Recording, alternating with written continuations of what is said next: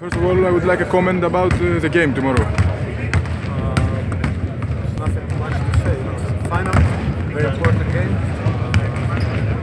Have to be ready, you know, to play uh, 100%. What's your opinion about Aris as an opponent? I think they're a very good team. Uh, uh, they're playing on their court, so it will be really, really tough opponent for sure. And one last comment.